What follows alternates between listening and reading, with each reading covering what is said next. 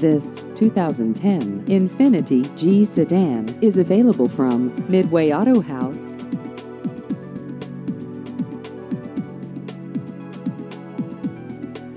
This vehicle has just over 32,000 miles.